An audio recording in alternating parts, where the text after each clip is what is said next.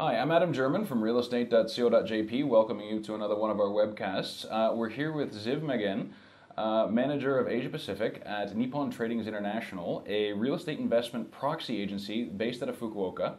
And he's come all the way up here to Tokyo to tell us what's going on in, in the investment world outside of Tokyo in terms of real estate, all the opportunities that are there. And I'm very excited for this. But before we get into that, I want to thank the Queensland Business Center uh, for allowing us to film here on their on their on their great location here, right on top of Kamiyacho Station in the heart of Tokyo's business district.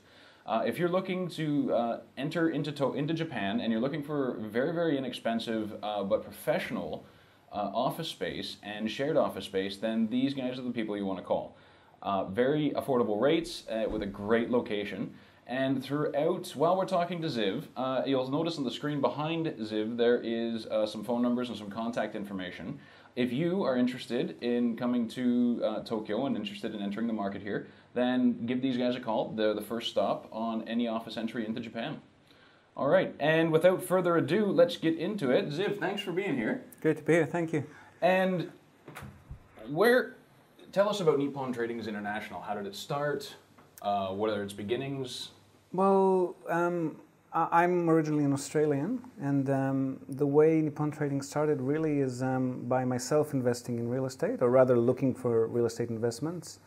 Um, I had a few markets in mind, being Asia Pacific oriented. I was looking at Australia, New Zealand, Singapore, Hong Kong, um, more or less regulated environments where I wouldn't have to be uh, cutting deals under tables and stuff. And um, Japan just won hands down as far as the um, as far as the cash flow was concerned.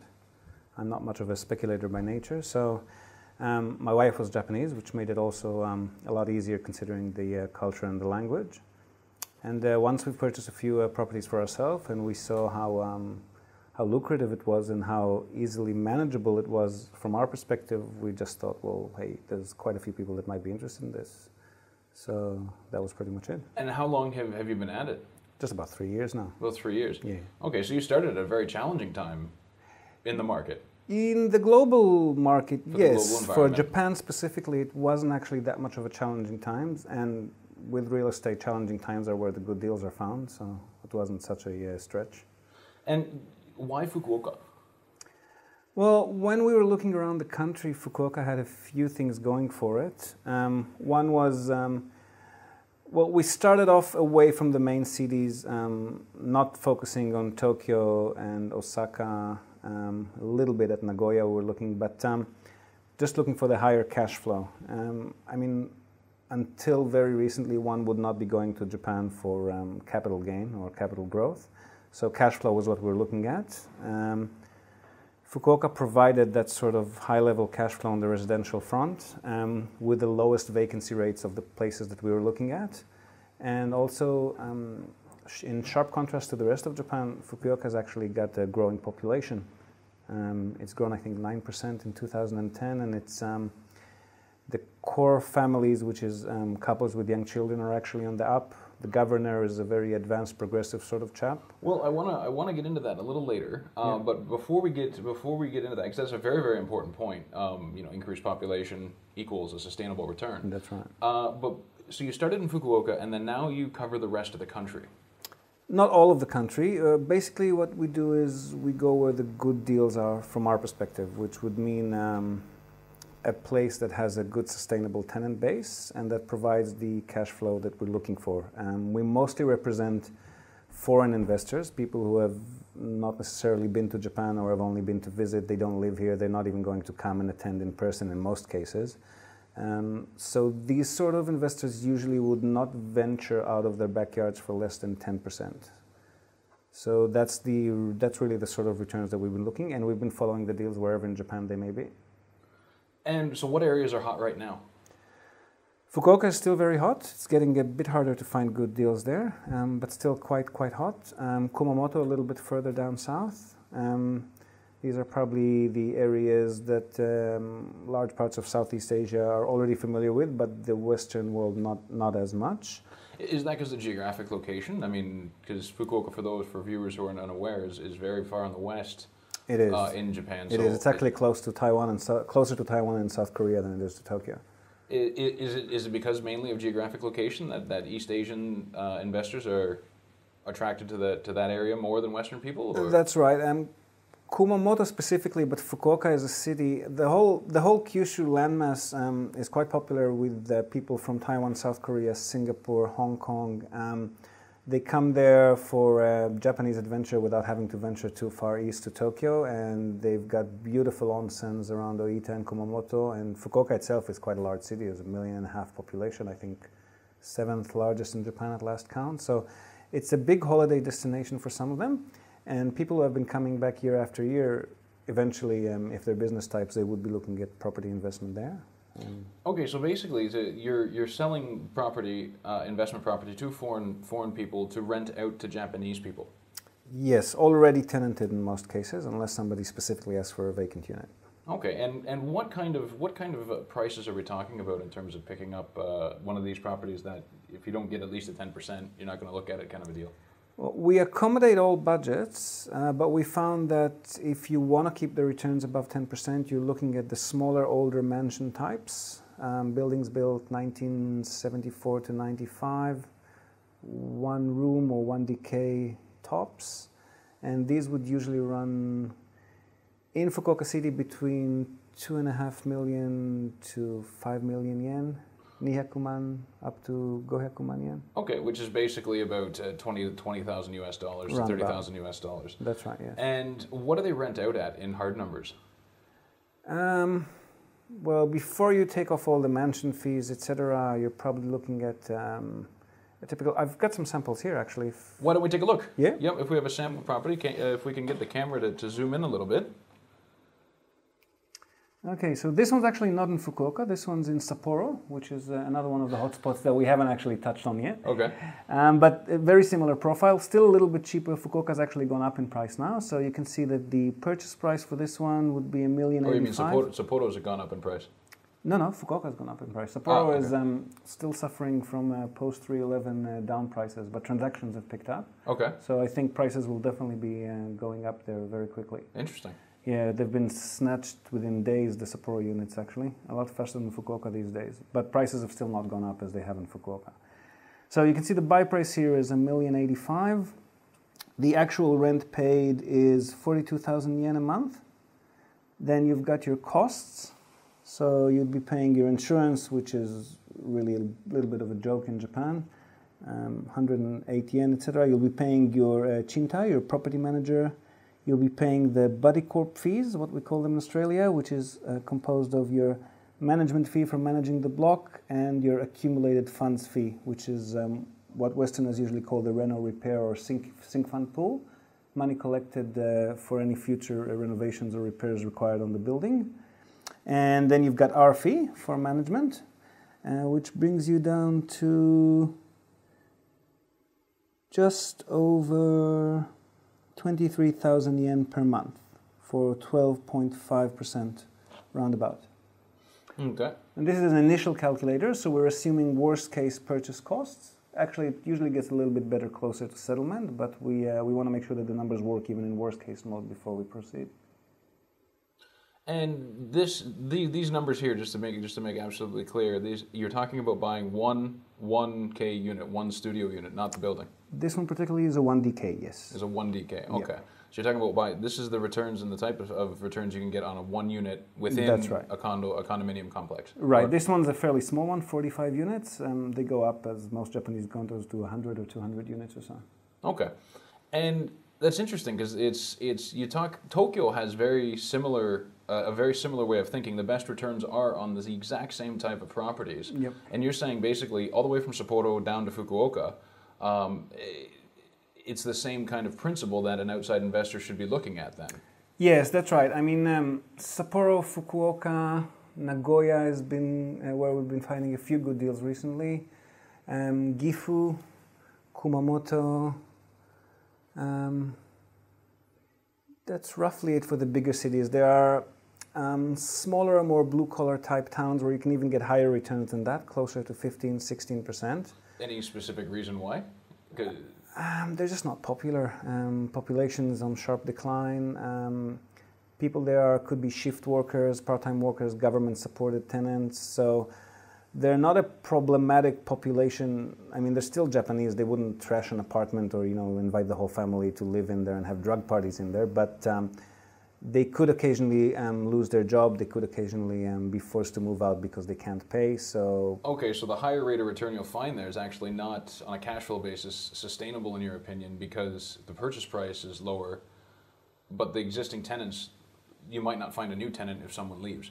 It would take longer. Okay. Um, again, this is Japan, so it's not as drastic as it might be in other countries.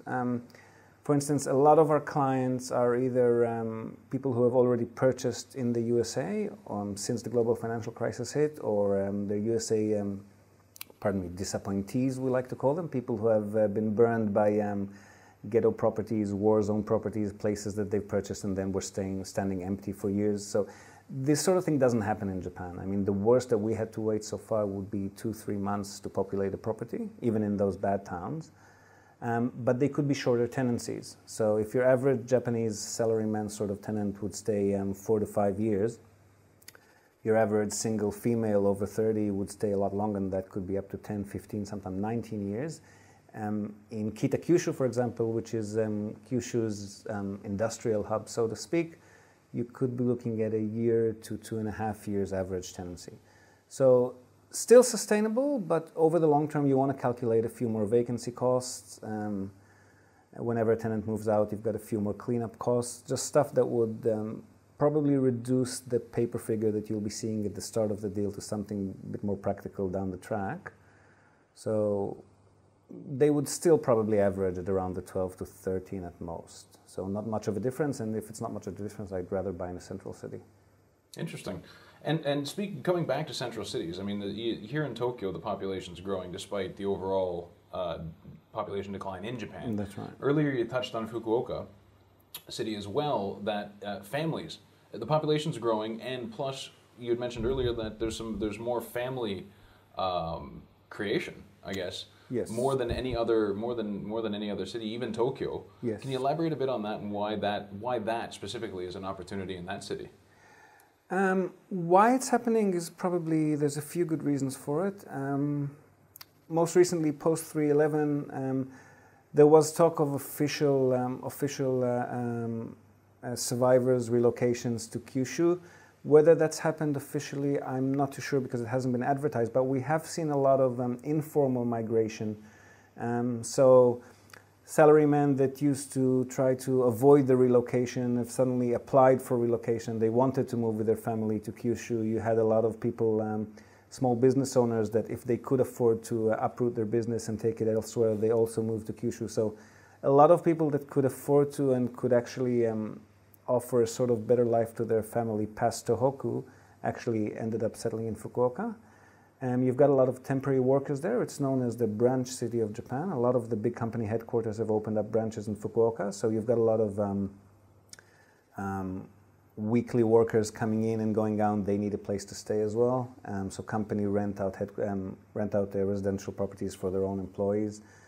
Um, you've got a fair bit of temporary workers from Korea and China coming in on occasion. They also need residents. They've got their own little kuzen neighborhoods in Fukuoka as well. So quite, um, I would say, if you go past Osaka and Kyoto further west, Fukuoka is probably Western Japan's um, biggest city and also sort of um, um, trade hub, if you will, for the rest of Asia. So it's happening there to some extent. Some people um, seem to think it's been happening a little bit too much there. Um, but yeah, definitely a vibrant place at the moment where do what areas do you see being hot in five years from now? Uh, and where are you personally going to look for investment opportunities in the same time frame? That's a tough one. Five years in the future. Um, we've positioned so far. We've positioned ourselves um, personally, our family portfolio, in the same sort of places that we've been speaking about so far. Um, Fukuoka, Kumamoto, Sapporo, Nagoya, um, Kurume, which is a little city just a little bit south of Fukuoka, down the track is hard to say. A lot of it would depend, I think, with what happens with Fukushima. Um, if the situation seems to be under control, I think, as I mentioned, that Sapporo will be on the up, definitely. Um, but whenever the thing with Hokkaido is it's um, it's very internationally dependent. So once the um, ski holiday makers stop coming for any reasons, the people who support them and live there as as um, as uh, holiday workers will also tend to peter off, and that's what's been happening post 311. If Fukushima is kept under control, I think Sapporo will rise again. It's definitely been a very hot destination before 311. There's no reason for it not to go back up there. So there's quite good deals there at the moment. Excuse me. Speaking of speaking of, you touched a bit on, on, on ski resorts areas, and you're specifically talking about Niseko. Um, what are your not not me? I'm not buying any. So Sapporo. Uh, I know, but I mean, when you're talking about uh, tourism and ski destinations, that's and right. that Yeah, Niseko. I just wanted to. I, we've had we've done a lot of focus on Niseko on realestate.co.jp uh, for the reason that uh, it's a great case study. It's the most advanced case study of foreign involvement uh, in town planning and how right. and, and and how far it can go. What, what are your personal thoughts on Niseko? Is it is it a sustain? Is there a future there? Is there other? Is it a good model to to put in other parts of the country? And if so, where? Administration wise, I would definitely think so. Um, I think Fukuoka has a lot to learn from the way they've been doing it there because they are aspiring to be an international hub. They've gotten a good start to it. Um, there's a, I think, a Australian consulate, American consulate, Italian Chamber of Commerce, a, a French. So, so they're definitely um, moving up that way. Um, still a long way to go, though. I mean, um, Today, for example, at the airport, I've noticed Fukuoka has got an international airport. If you're sitting in the domestic terminal to take a flight to Tokyo, there's not a single English announcement on the speakers, for example, which struck me as a bit odd. Um, so I think they're still working their heads around on how exactly to do it. They could definitely take notes from Niseko, I think. Um, but they also need to watch out because Niseko has been a little bit bubbly, I think, as far as property is concerned. Um, with the amount of um, um, holidaymakers purchasing houses there, then trying to rent them out throughout the rest of the year. I think property there is probably a little bit too high for its own good. So they, they, they are walking a little bit of a thin line there.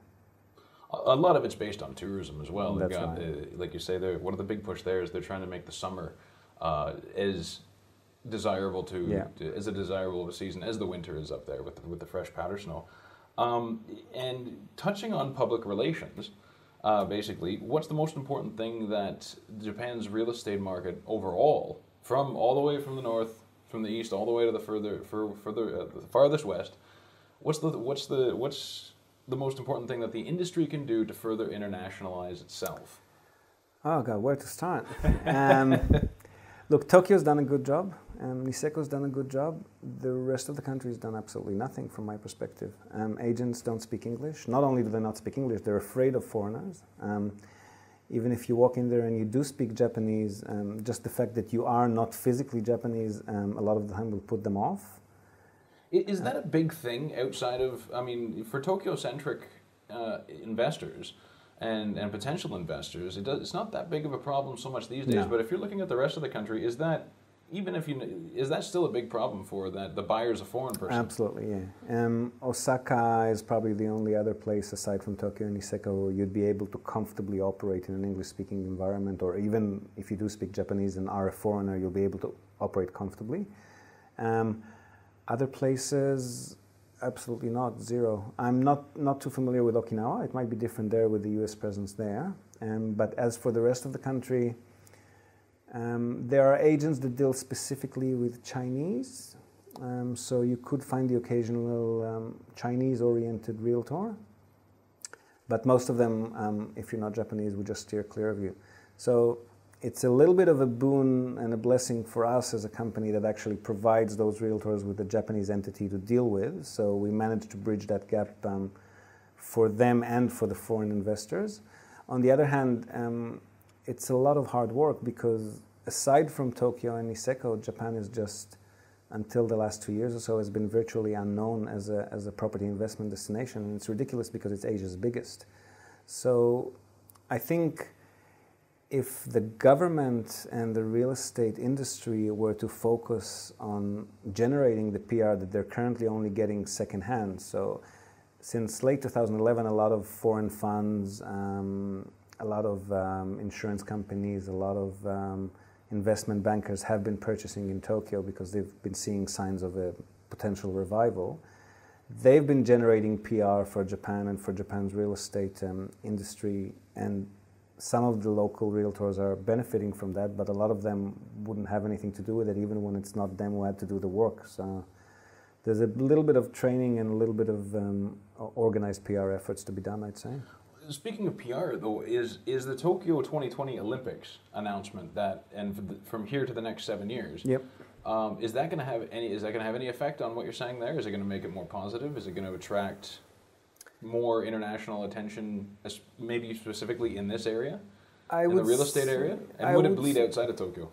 I would say indirectly, definitely. I mean, um, the thing with Japan is that unless you've been exposed to it in the past, for most people, Japan is yet another Asian country. So they are not aware of how different it is to the rest of Asia in the sense of how regulated and a stable, honest environment Japan is. If you compare it to other countries in Asia, um, I think maybe Singapore is the only comparable regulated environment that you can find. Most countries um, in Asia are, um, how should we put it, more loosely regulated, and uh, you're a little bit more likely to get screwed over if you if you operate in another country. Japan is just the exact opposite of that. It's probably more akin to um, Germany than it is to any other country in Asia in that respect. So, once people come in for a big event like the Olympics and they stay here, they get exposed to the culture, they realize that um, how different it is from what they've been imagining, then yes, it would generate interest.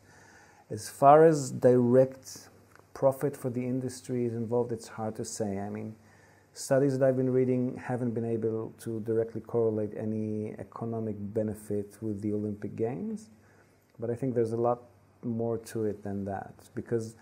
I mean, not only are the people coming here, you've got the events broadcasted throughout the world, and naturally, when they do that, they also um, quickly uh, survey the customs and the traditions, and uh, they interview people. So definitely on a temporary basis, I think it will give it a bit of a pickup. And once again, this a lot of it depends on what happens with Fukushima. What what happens in your in your opinion? You mentioned that a couple of times about Fukushima. In your opinion, what's the best case scenario for Fukushima? Ah, no more news would be good. At the moment, we seem to be hearing only bad news. Every once in a while, there's a little bit of a leak here, a bigger leak there. Um, somebody's head rolls, another one comes in.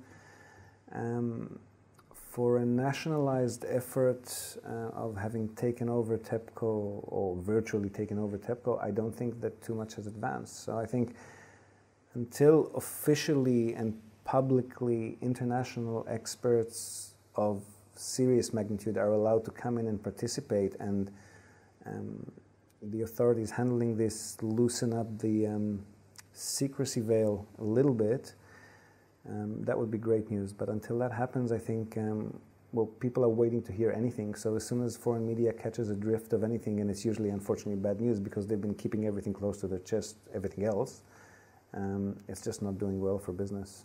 When, when, you, when you talk to a first time client, do they ask about effects of Fukushima on places like areas like Fukuoka or uh, Kyushu or up in Hokkaido?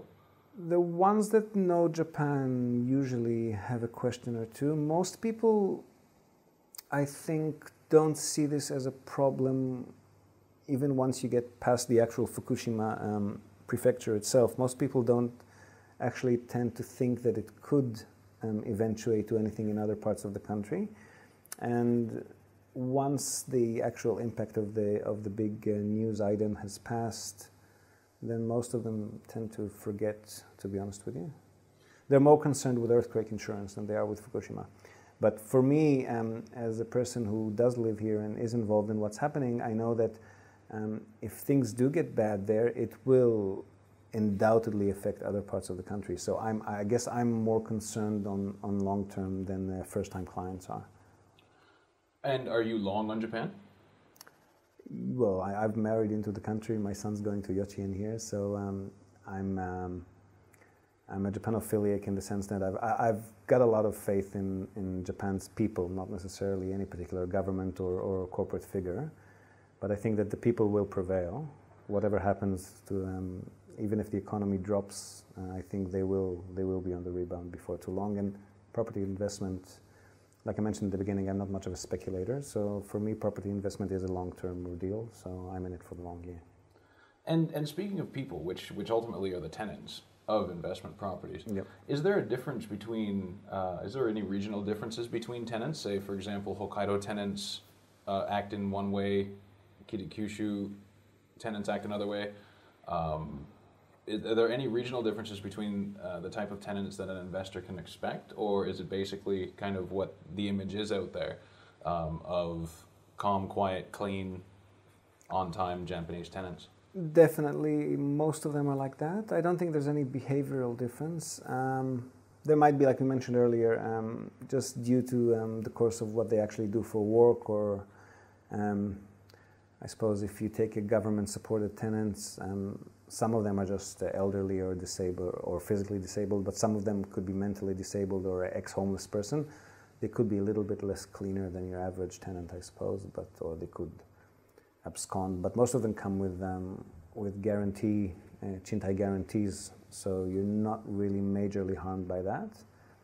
The main difference, um, depending on the type of industry that the town specializes in, um, would be in the length of the tenancy. Okay, and and that actually brings up a good point: is government guaranteed tenancy? Is that is that a potential? How prevalent is that outside of Tokyo?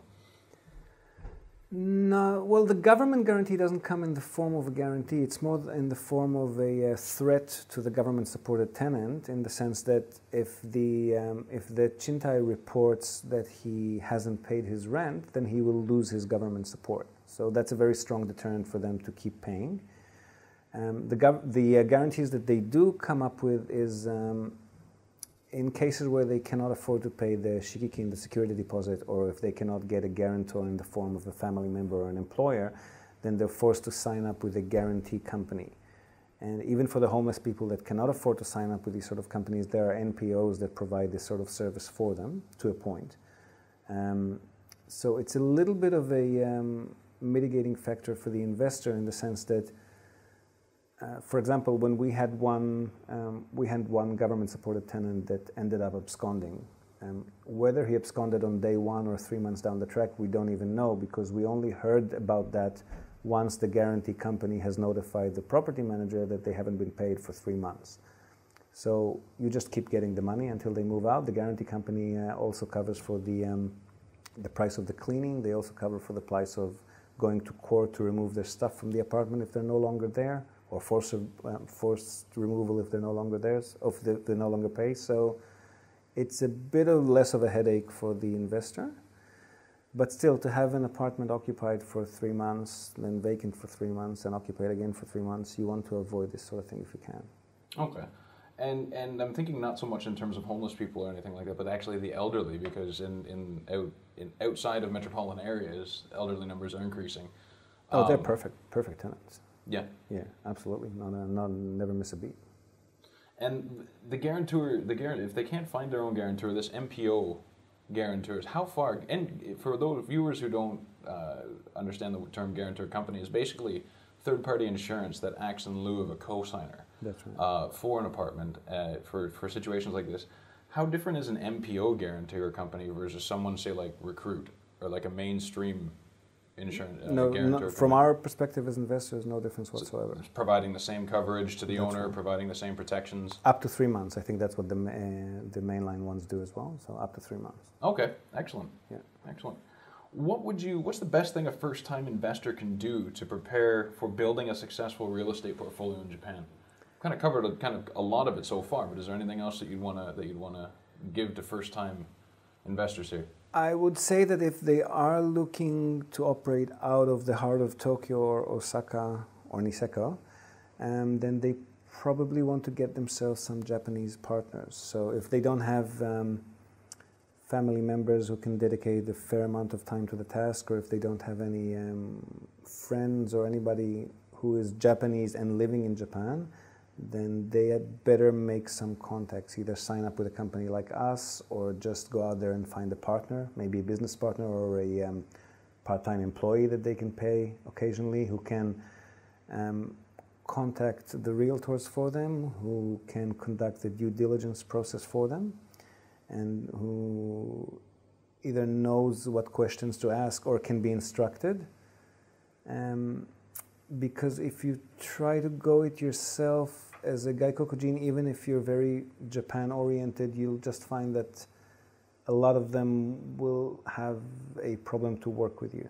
Um, they just out of Tokyo and Osaka, they often prefer, or the vast majority of them, I would say, prefer to work with Japanese people. So if you don't have a Japanese face to present to them, you might be in a bit of a, um, bit of a jam. I mean, you'll be very limited in your selection of properties. However, uh, Nippon Tradings International, Yes, we can do that for you. you do all of that. You can you can take care of all of that, no, no matter where the no matter where the property is. Yes, that's right. So for our Japan-based clients, we conduct the purchase due diligence, sales if they require. Um, we can or we do not have to, it's up to them, conduct the monthly management for them. So the busier ones who just cannot be bothered to um, talk to a property manager or collect the rent by themselves, etc., we can do all of that for them. Um, for the foreign buyers who um, are not Japanese residents, um, of course, we do the monthly management as well. So we organize for the insurance, um, conduct the uh, relationships with the property managers, um, help them make decisions on tenants if an apartment becomes vacant and they need to find a new one.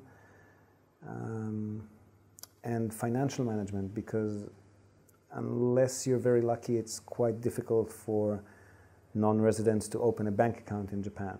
So we also collect the rent for you and transfer it to your account of choice whenever um, there's a substantial amount to be transferred or whenever exchange rates are profitable. It's really up to you. Okay, so it's, it's, you guys provide a complete hands-off service then, Absolutely, if, if yeah. necessary. One stop shop. One-stop shop. Okay, right. and that's outside of Tokyo, anywhere in the country.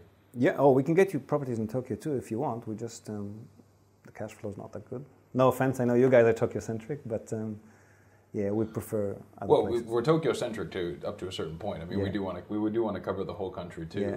Um, but yes, at the moment, the, mo- the majority of our listings from uh, the agents that we work with are in Tokyo. Although we like we're starting to get more and more outside of Tokyo, and it's and it's really surprising to see um, a lot higher of a cap rate in places like Kyoto or in places Yeah. like it's just my experience as a realtor is in Tokyo. Um, and just seeing instead of like you know you don't look at anything under 10 i've seen things listed for you know 15 17 percent Yep. so in, right. in some places so it's just jaw dropping on a cash flow basis yeah. um, I want to before we get to um, some questions that uh, some registrants had wanted to ask you specifically. I wanted to touch on financing and just touch briefly on it. What options are there, if any, for foreign people to qualify for financing here in Japan at present? Foreign as in non-permanent residents. Uh, non-permanent. Let's start with let's start with permanent residents and work backwards. See how I'm moving forward because that's a little bit of an uncomfortable subject. Um, we're getting a lot of um, inquiries on that, and um, recently we've been led to believe that Shinsei Bank might be one of the more foreigner-friendly banks. So we'll definitely try to go into contact with them to organize something.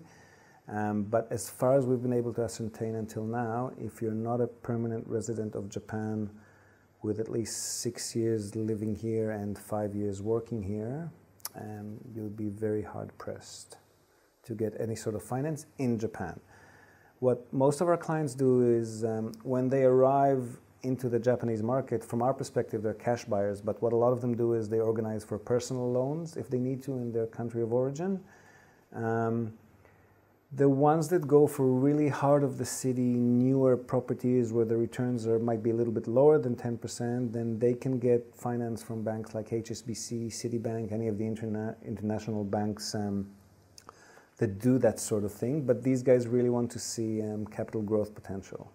Um, the fact that it's Japan and there's not much of it happening so far um, doesn't actually doesn't actually deter them. They are they will only loan against um, half million dollarish apartments in the heart of Tokyo, kind of thing. So Specifically for investment purposes. yes, that's right. Okay. Because one one registrant had asked a question. Now they're not permanent residents, so we can we're kind of working backwards here. Yeah. Um, I'm in the Navy and just received orders uh, back to Japan to come back to Japan, specifically Yokosuka and Kanagawa, until at least 2017, and thereafter uh, planning on staying for life if possible. When you say they, his spouse is Japanese, is she? is, yep, spouse Well, is that's as permanent resident as you can get. Yep, spouse is Japanese, Yeah. and what are the what's the first step in buying or building a house?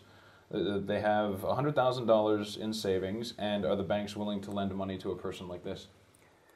I think if his wife is earning, it should be a lot easier. If she's not earning or haven't earned in Japan, and he's the only uh, breadwinner or um, head of the house, as they call it in the Koseki Tohon, then he will need to show some um, long-lasting income here. So probably not if he's stationed till 2017. He might be just reaching his eligibility about then. Um, what I know that it's difficult for a lot of um, owner occupiers to wrap their head around this, but my suggestion is always, um, as shocking as it may sound, is take your $100,000, invest it cash in investment properties, and use that incoming cash flow and cash stream to either prove your income a lot faster or prove that you're a um, semi mogul real estate investor, which should be getting a loan. Um, or alternatively, just rent to live I mean, rent your dream home and just invest your money without debt in something that actually generates income and pays off your rent plus. Great advice. So basically, don't don't don't go for the loan off the bat. Build a track record here. I would say so. Yeah. Using your savings to generate to buy the first couple of properties. I would say so. Yeah. Would you would you buy the properties in your name, or would you would you advise this person to uh, uh, buy the property in their name, or should they start a company? Um, a corporate entity? In Japan, until you hit the, um, I think, several good tens of thousands property related income per year, there's not much of an advantage to owning it under a corporate structure, and the corporate maintenance would cost you probably more than you'll be saving if you will be. So I wouldn't see much of an advantage now.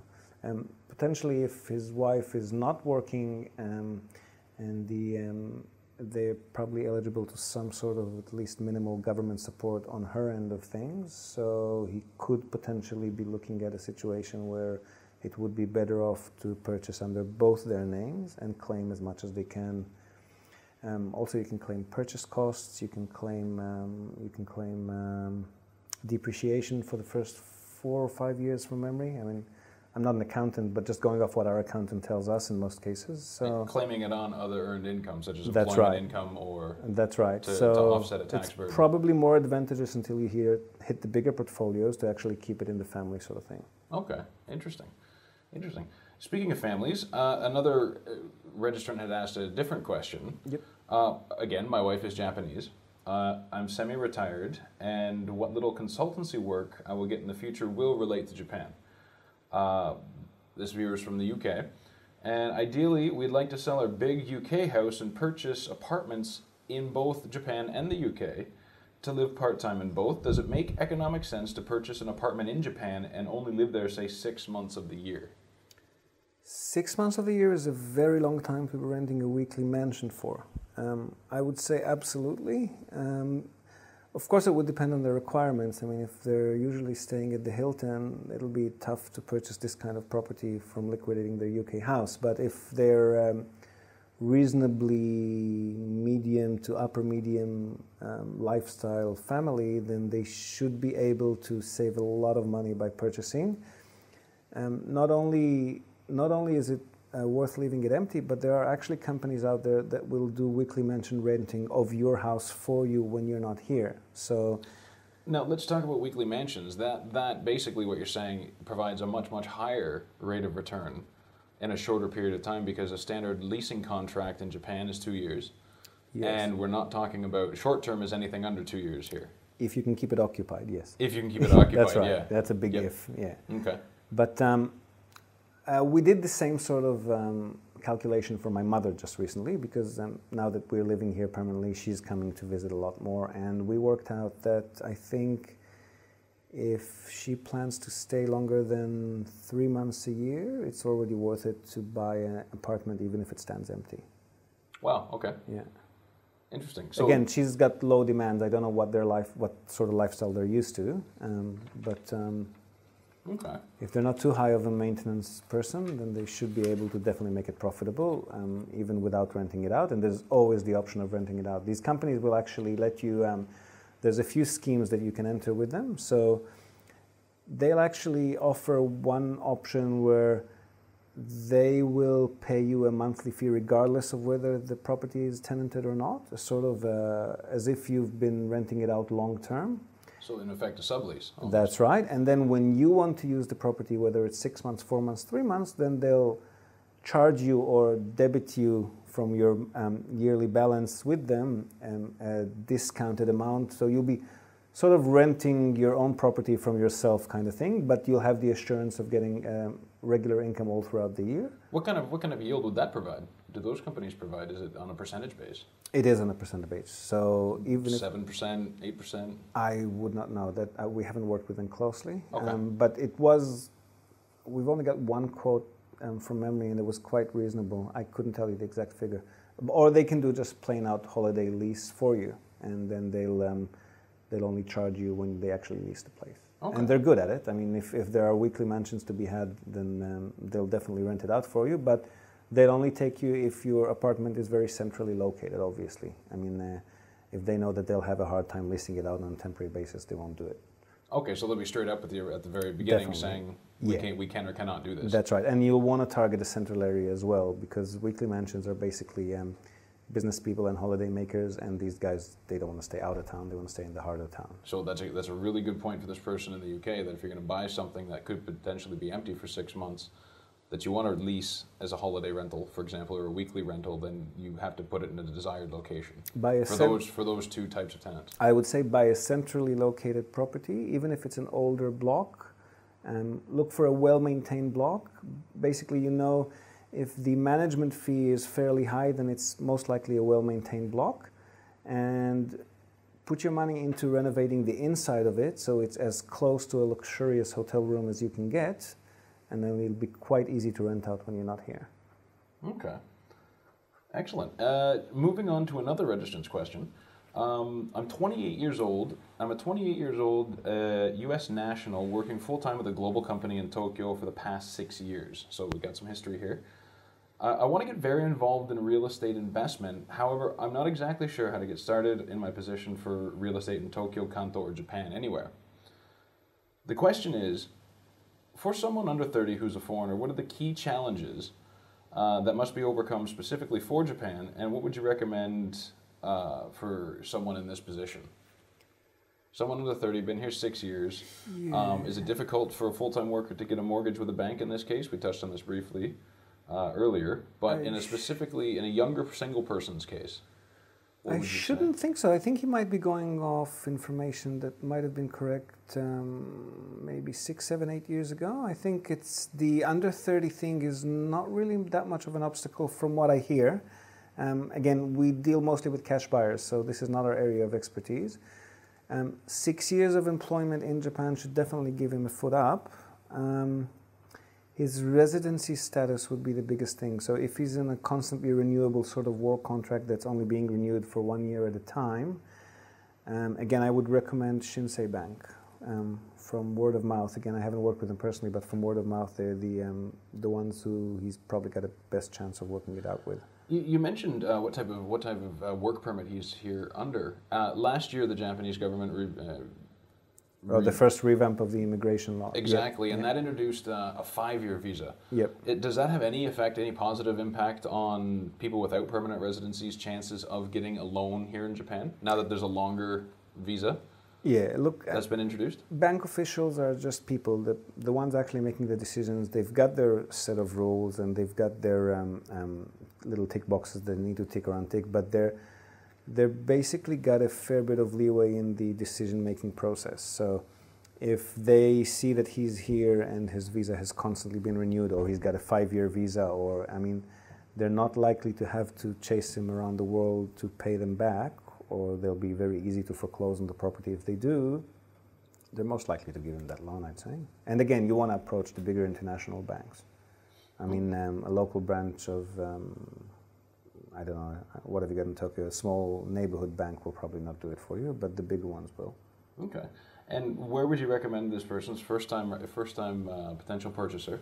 Where's the safest place that you would recommend for someone in this in this case? Well, he's not going to get a mortgage for an investment purpose um, anywhere out of the heart of Tokyo, um, which again, I wouldn't recommend for cash flow, but if he's looking at potential growth, that's probably a good place to be. Um, Growth in terms of gaining a track record with that with that lender in order to buy other properties. no, growth in, in terms of potential capital capital growth. Ah, okay. Um, track record for uh, future property purchases. as long as he's generating cash flow, he's going to have a track record. So that's not that much of an issue. And um, in Tokyo, you can definitely keep the apartment tenanted, so that shouldn't be a big a big problem. Um, but if he does want to generate a reasonable income from it and not just a um, on top of um, inflation or just a little bit better than a term deposit, then I'd offer to go out of Tokyo. I mean, consider that uh, people who are living here as foreigners um, have got the big advantage of uh, being able to channel their money around out of Japan rather freely compared to a, a, normal Japanese resident. So, if you're looking at an Australian person who can take his yens out of Japan and get um, three or four percent on them uh, in a long-term deposit in Australia, then you really want to substantially increase your return over what you could get in your country of origin. Um, if you're going to enter the, um, the risk or semi-risk of property investment. Otherwise, what's the point? Well, and, and that touches on what another registrant had asked is, is what are your thoughts um, on currency exchanges? For example, the, I'm an Aust- the, the question was this, I'm an Australian hoping to invest in the Japanese housing market. I'm wondering if you agree that the current conditions of the carry trade between the Australian dollar and the yen make this an idle investment. How does an Australian get started in the real estate market in Japan? this question focusing on currency fluctuations, what is, does this have? Should this have any impact whatsoever on an investor's decision to buy real estate here in Japan for investment purposes? Not as a long-term strategy. From my perspective, um, exchange rates go up and down a lot. So what seems like ideal conditions this month. Um, because the Bank of Japan has announced a new round of QE and the yen's dropped, or um, the Fed's got an issue and the yen goes up again. So these are more factors in deciding when to put your money into the country and when to take it out again, as far as your balance is concerned. But if you're if you've decided that you want to invest in Japan, it should be for other reasons, not because this month the exchange rate looks okay, because you never know what's going to happen next month. So. Um, if it's at, at 100 per US now and you're thinking, wow, that's pretty low, that doesn't mean it's not going to go to 120 or 140 and it might stay there for the next two or three years. So for you to think that um, you're you're utilizing a great situation by, by putting your money into yens at the moment and then investing in property, it might be true, but the basic rule to handle um, foreign exchange investments in any country, I would say, and in any, any point in time, is to um, A, not invest with money that you'd need back in a hurry, because once you depend on that money for your income or for your mortgage payments back home or for whatever you'll need to quickly withdraw it, then you're a slave to the exchange rates rather than being on top of them. So instead of profiting on them, you'll be losing on them. And second thing is to pad your transfers and to pad your balances. So when you transfer money across to buy in Japan, add another 10% extra in case the exchange rate suddenly changes and you need to transfer another 500 at, at cutthroat rates later down the track. Or um, when you're pulling your when you're pulling your income out of Japan because the exchange rate is now profitable and it's worth to pull your income out, leave 10% behind because you might have maintenance issues. And you want to sign up with a Forex provider as opposed to using the bank's rates. Forex providers will usually necessitate a minimum, I think, of approximately $2,000 in transfers.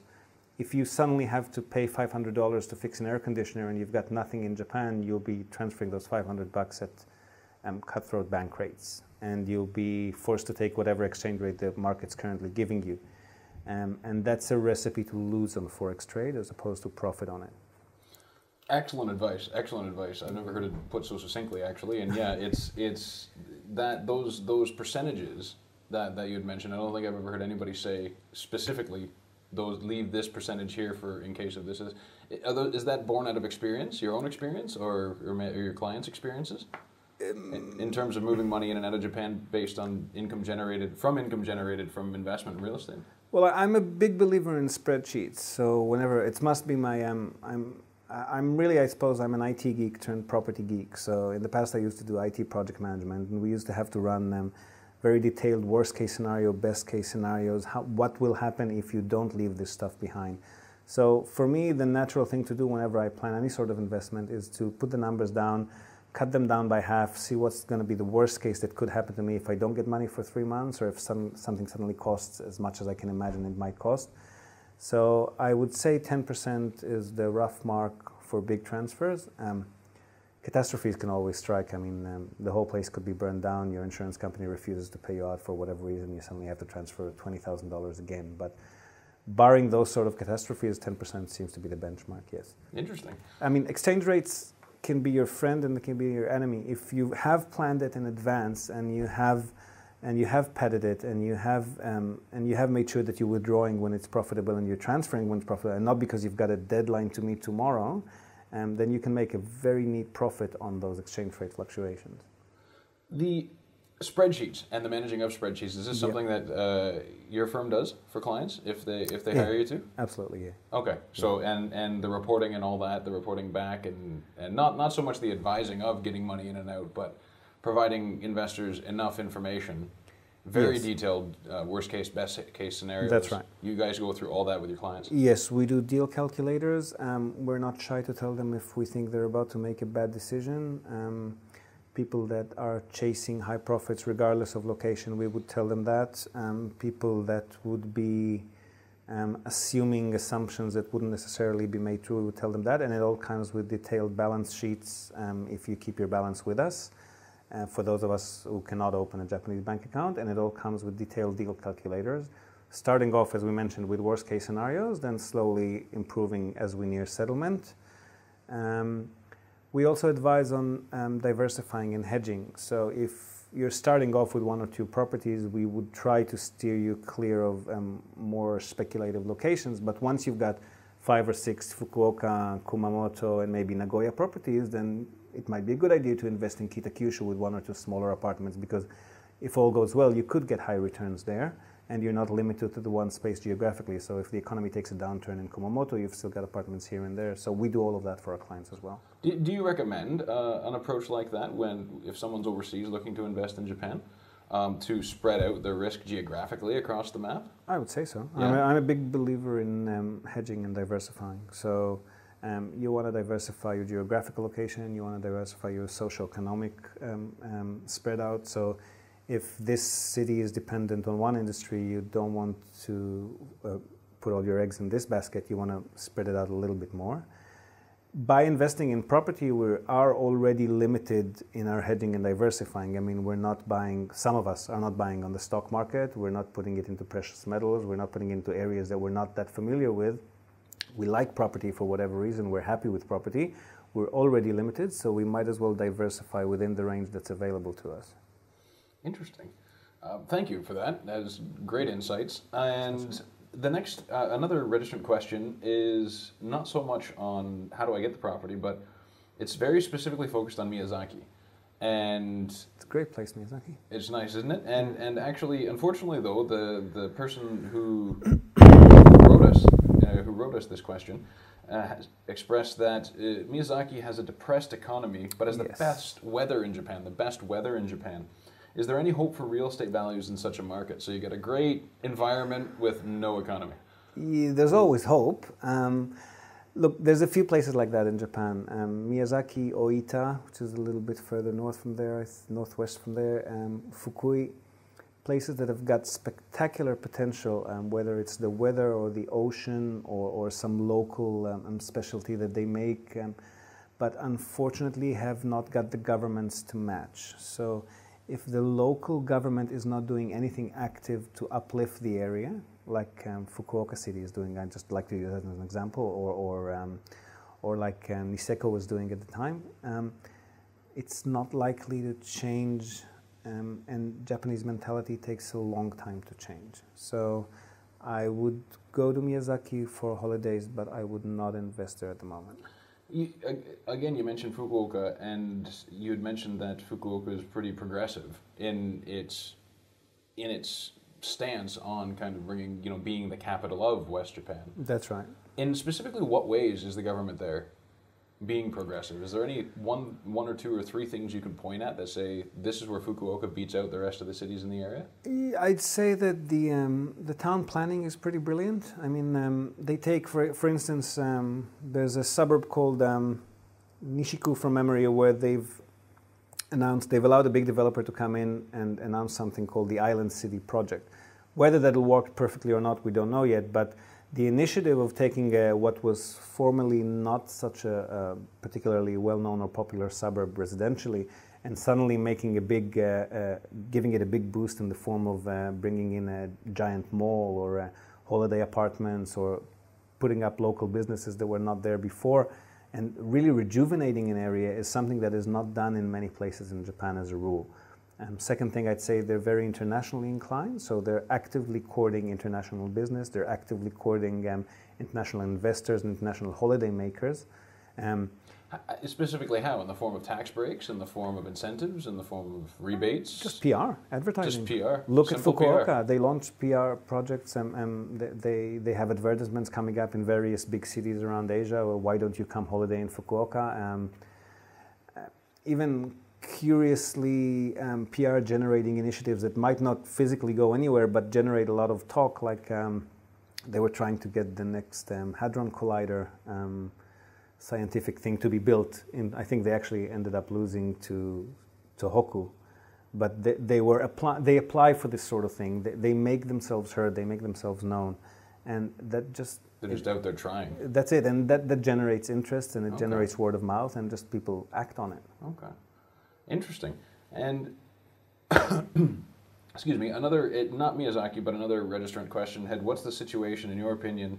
regarding buying a home or office in the Nagaoka, Niigata area. So now we're talking about kind of in the middle of the country, up in the over in the mountains. Home or office for owner occupier purposes? Uh, yes, for yes. Well, that's got nothing to do with investment, really. I mean, if you're an owner occupier, the most important thing is where you want your children to grow up, or where you want to work, or where you want to live. Don't don't think of it as an investment. I would say because if you do up the numbers on a spreadsheet on your on the home that you're going to live in, you're always going to lose out to investment properties, which might be in a part of the country where you're not even interested in living, or in the heart of the city where you're not interested in. You're interested in the suburbs, and the returns are better in the center. So, let's flip that then and say for investment purposes. For investment purposes, it is not tremendously known for good deals. Um, I'm not saying it's a depressed economy like those other places that we've mentioned earlier. Um, it's it's actually got a bit of a better PR than those places, but we just haven't seen spectacular deals come out of there. Um, maybe it's because transaction volume is low, maybe it's because a lot of it is owner occupied, so we're not seeing a lot of investment properties advertised around there. Um, I can just say that I'm neutral on it. I haven't heard good or bad things about that area particularly. Okay. And along this same thread, the, the, the final question that I have for you is that there's been some recent uh, media attention on large investment banks purchasing properties uh, outside of Tokyo, uh, outside of Tokyo, and, and specifically one one viewer had uh, quoted an article on Japan Today, uh, titled "As Japan's Property Rebounds, Investors Court More Risk by pushing I've read that Tokyo. one. Yeah, yeah. What um, What do you think about this? What do you think about the, this article? Is it is it and what do you think about this general trend? Is it true? Is it valid? Is it is there a future here? The trend is correct in the sense that uh, yes, there is more international focus on Fukuoka now that we haven't had in previous years. Um, the way it was presented in that particular article was a bit. Um, a little bit blown out of proportion from, from where I see things. I mean, um, Property in Japan generally has lost um, 50% of its value or so over the last 15 years. Fukuoka specifically has still got about 13% um, vacancies on the residential units. It's still only risen about 25% or so in the last two years, which leaves it another, I think, three quarters of the way up to go before it reaches anything like those um, pre bubble numbers that we've been seeing in uh, previous decades. So to say that there's a bubble forming in Fukuoka is a little bit premature, I would say. Um, it is getting harder to find good deals there. I'll give them that much. Um, if we could get 12 to 15 percent around the city center in the past, this is residential. I'm not. Uh, my specialty has nothing to do with commercial, so I wouldn't know about commercial. But residential-wise, we've been getting 12 to 15 percent around the city center when we started out. Um, now we'll be pushing it if we can get to 11. Um, 10 is usually the norm, and most of them are below 10. So we're finding, we are finding it harder to nab good deals. Um, but, I mean, 10% still gives you a fair bit of a nice margin to drop to in case the economy takes a hit or, um, or rents. I mean, when rents go down, it's usually because something's happened to the economy, and then your costs go down as well. And subjectively, maybe not to the same degree, but they take the load off the um, the loss that you're taking on the rent. for things to go down to the point where you would be losing your investment value, say for it to go from 10% to 5%, which would be, I don't know, equable with Tokyo in some instances, I think the whole of Japan would be needing to take some hits. It wouldn't be a, um, a city specific thing unless natural disaster hit or such, but that's got nothing to do with economies and bubbles. So I think that particular article was a little bit over the top. I don't think the situation is even nearly that grim in Fukuoka. Is there a potential? Are, are, there potential seeds for a bubble to develop in Fukuoka? Do you think? I suppose you could say that about any hot market anywhere in the world. Um, wherever people are interested in and big institutional investors start moving in, then you could say that if they don't watch out in five or ten or twenty years' time, there could be a bubble there. But I mean, where isn't like that? We've got the biggest um, bubble in the world just around the corner in Hong Kong that still hasn't burst for some obscure reason. So to call Japan that's um, only been exhibiting uh, um, price very modest price prices for the first time in about 15 years to call anywhere in Japan bubble potential I think is pushing it a bit. Excellent. Any last words that you want to say? Well, no, invest well, in yeah. Japan. It's a great country. and it's got the world's best cash flow, hands down, for a stable environment like this. And the only reason you haven't been hearing about it is um, maybe because um, their PR isn't that hot, but um, it's a great country to invest in. Asians know it, and I highly recommend the West wakes up to it. They already have been, but come here, we'll get you a good deal. Excellent. Ziv, thanks very much. It was a very, very enlightening hour. Pleasure. And I hope you enjoyed that as much as I did. And thank you very much for coming up all the way to Tokyo from Fukuoka. If you want to get in contact with Ziv, uh, please uh, go to his site. The link is below this video. Uh, jump over to his site and give him a call. He's waiting for your call and waiting to waiting to talk to you in detail like he did in, with us in this video. Uh, thank you for watching. Uh, without you guys, we wouldn't have a reason to do this. And thank you, the Queensland Business Centre, for hosting us. Uh, very once again, if you're looking to get some shared office space in a great location, we're in Kamiyacho in the heart of Tokyo's business district. Uh, give these guys a call. Uh, the number, all the contact info is right behind Ziv there. I'm Adam German from realestate.co.jp. Thanks for watching and bye for now.